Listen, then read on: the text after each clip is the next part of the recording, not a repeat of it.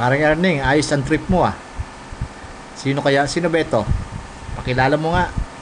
Nagsalita hapon eh, hapon eh. Hapon yata ito.